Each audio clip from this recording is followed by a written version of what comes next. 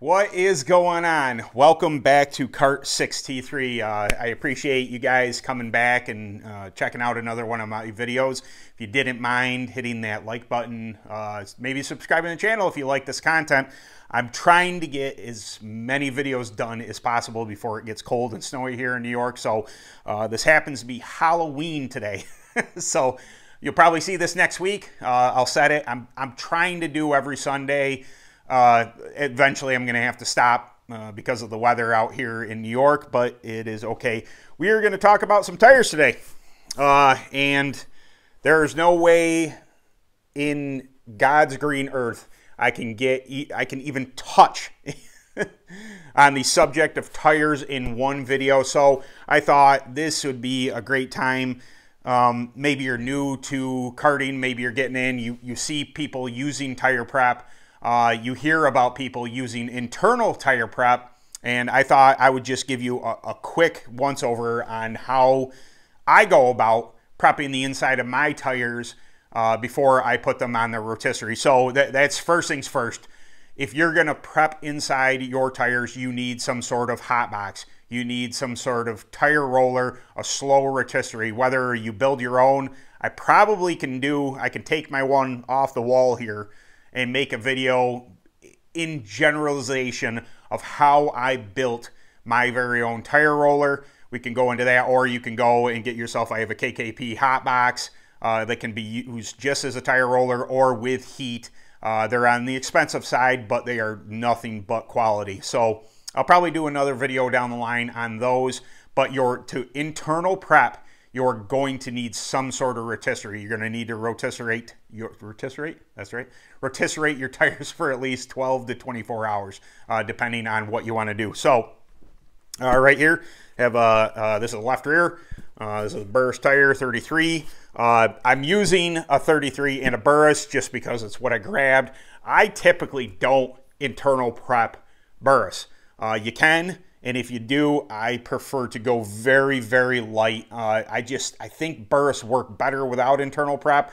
Do all your uh, external prep from the outside, and they don't need a ton. Just something to fire them off. The tracks that really love Burris tires don't like, uh, you know, an aggressive type of prep on them, in, or at least internally. Uh, they don't like a ton of stuff. They just they need the tire to fire off and work well, in my opinion. So um, for this action, uh, we're not going to put anything in today. I'm not actually going to do it because, like I said, I don't typically internalize prep a Burris, but uh, TrackTac uh, tire treatments is what I use. Um, there are a ton of different uh, and a uh, ton of different preps out there on the market make your decision and stick with it. Uh, keeping up with the Joneses. Oh, this new tire prep came out. This new tire prep up. Just if you you pick a reputable dealer like TrackTac, like like any of them, and stick with a program. Learn the prep. Learn what it does to your tires first and foremost. What works uh, well inside the tire. What works well on the outside of the tire, and please stick with it. Uh, the bouncing all, all over the place. Uh, you may get some initial results, but knowledge about your tire prep system is going to be better than just what's hot at the time. So, like I said, I choose TrackTac. I've been running TrackTac since uh, I don't know 07. Uh, I've met the owner Randy. Uh, Chris Harris is also a phenomenal dude, uh, willing to help anybody at any time, and they have a plethora of tire preps for any different type of track situation. So, uh, you got your your your tires you got your rotisserie of some sort, hot box, regular rotisserie. How do you get prep on the inside of this bad boy? Well, first things first, you need a valve stem core uh, tool. Uh, you can get these anywhere, Walmart, wherever, uh, Napa, anywhere like that. And you're going to want to remove the internal core from your tire. Take that out. That's what that looks like right there. Okay, you're gonna obviously keep this, don't chuck that. You're gonna need it. Now there's two, uh, or there's multiple different ways. There are cart specific um, ways to uh, measure your amount and inject it in the tire. I have found two ways that work really well for me. Uh, I got this, I think it was at Walmart, it's just in the grill section. So this comes like this, It gives you ounces. Uh, some people do it in cc's. I prefer ounces. Uh, either or works. Just remain consistent on what you're going to put in whatever tire.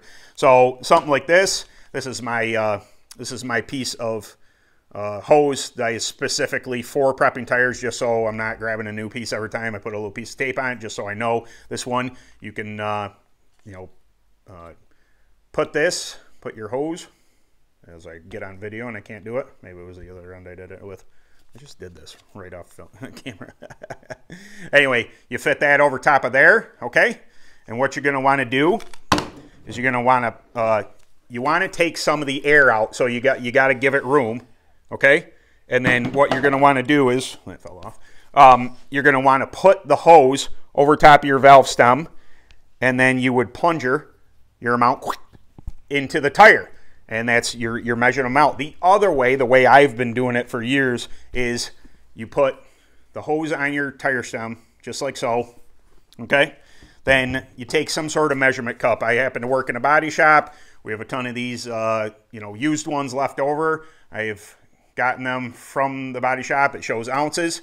So whatever mixture, if I'm doing a blend, if I'm doing just a standard, you know, what, whatever, if I'm putting SAA, just uh, purely this in here, I pour the amount I want in there. What you're going to want to do is you're going to want to depress the tire. Okay, like so. I'm sure I'm hitting the mic, I'm sorry.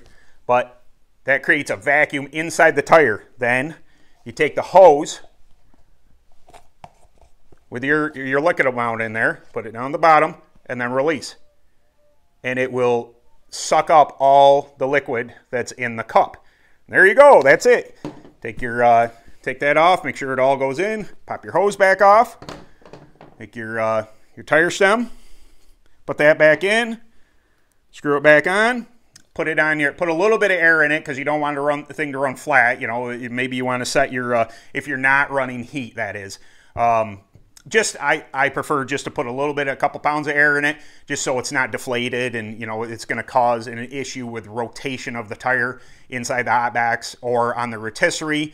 Um, if you're running a hot box you want to be very careful not to uh, put too much tire pressure in there to where you're going to grow or shrink your tire. So uh, that's pretty much it guys. Nice quick video. Um, internal tire prep is not that difficult to do. Uh, and hopefully this gives you a better understanding. Like I said, most of these videos are going to be for new people coming in, people who have never internalized, uh, you know, prep or done this or that. It's just your basics of kart racing.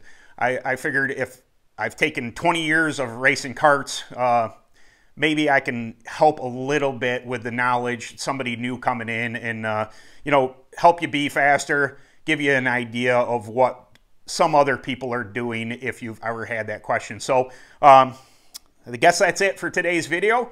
I appreciate you swinging by again. Again, if you didn't mind, a like, a subscribe, any of that stuff helps the channel grow. You know, uh, share it if you want. if uh, my my antics are not too much for you, I think it's valuable to somebody else, you could share it out there. So I, I really appreciate guys, and uh, happy go-kart. Catch you later.